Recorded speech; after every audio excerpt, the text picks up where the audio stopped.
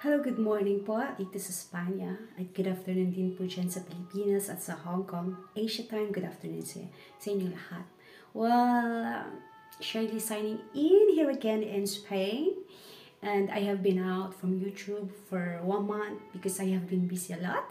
Pero as of the moment, here I am again. So, kumusta po tayong lahat? So, before po ako mag-start, gusto ko po muna mag-shout out sa pamilya ko dyan sa Pilipinas. For Shomelin Jr., I love you and I miss you so much. Sa mga pamilya ko, sa kapatid ko at mga mm, magulang ko, hello sa inyo lahat. Kumusta po kayong lahat dyan? And even to all my friends out there in Hong Kong, thank you so much for staying. Thank you, hindi po kayo nalagas, regardless of my absence. Nagpapasalamat po ako sa inyo. Alright, let's dive in. But before that, kung hindi pa po kayo nakapag-subscribe, please mag-subscribe po kayo sa maliit kong channel. And please support me.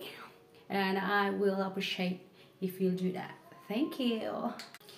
And today, gusto ko lang po itakal.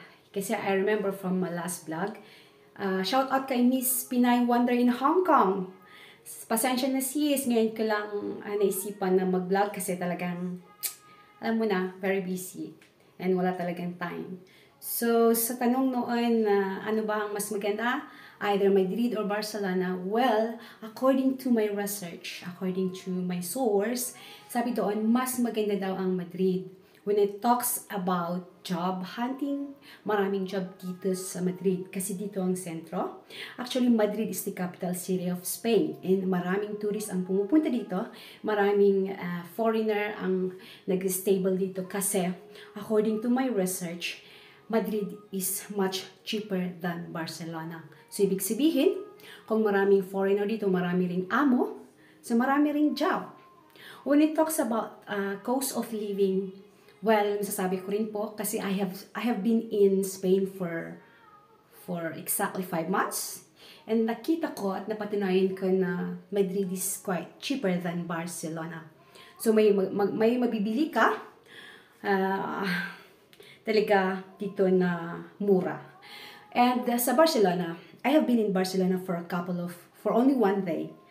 At ang nasabi ko, maganda rin siya kagaya ng Madrid. Kasi uh, yung weather din is maganda, quite similar with Madrid. Pero ang nakita kong difference is like much higher yung mga presyo. Yung mga bilihin is much higher siya ng 1 euro.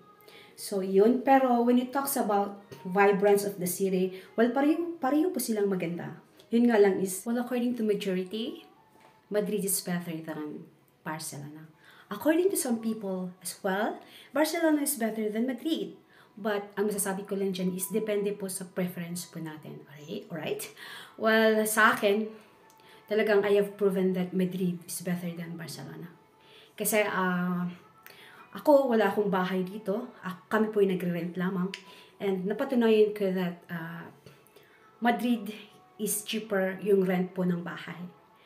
It costs ng 200, may, may presyo na 200, uh, less than 200 250, 150, or 120. Ganun po yung presyo. At sa mga bilihin talaga dito, napatunayan ko rin po na mura, mura po mga bilihin dito. And uh, sa mga amo, like, for as of now, wala ako, uh, available po ako, wala po akong job. Ang dami ko po nare-receive ng mga job offer, pero talaga talaga na kailangan ko talaga munang mag-rest for at least for a couple of days before po ako mamili, before po ako mag-choose kung ano po ang trabaho na papasukin ko. Well, yun po. And when it talks about food, well, both series are spectacular when it talks about food, about places, about the weather. Wala akong sasabi. They are both good. They are, they are both great place to stay with or to visit with or to explore. Maganda po.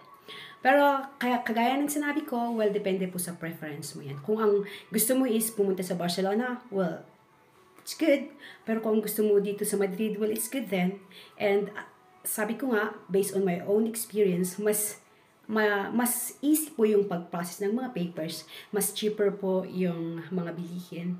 Or in, a, in, in other word, cheaper po ang cost of living dito. So, yun po. Sana nakapagbigay ako ng konting, konting, konting information about living in Madrid or in Barcelona. However, gusto kong sabihin na maganda rin ang Barcelona kasi talagang gusto kong i- explore in the coming months. So, yun.